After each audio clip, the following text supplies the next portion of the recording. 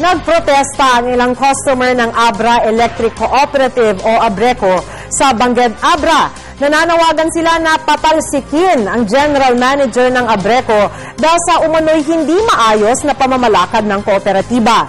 Pasado alas 12 ng tanghali kahapon, pinutulan ng Aboitiz Power Renewables Incorporated ng supply ng kuryente ang probinsya ng Abra. Ang Aboitiz ang isa sa mga power supplier ng Abreco. Naibalik na ang kuryente roon matapos makapagbayad ang Abreco ng mahigit 15 milyong piso sa Aboitiz Power. Binayaran naman ng provincial government ang mahigit 5 milyong pisong utang din umano ng Abreco sa National Grid Corporation of the Philippines. Isinailalim sa state of calamity ang probinsya kahapon para magamit ang calamity fund nito bilang pambayad sa utang ng Abreco. Wala pang inilalabas na pahayag ang Abreco.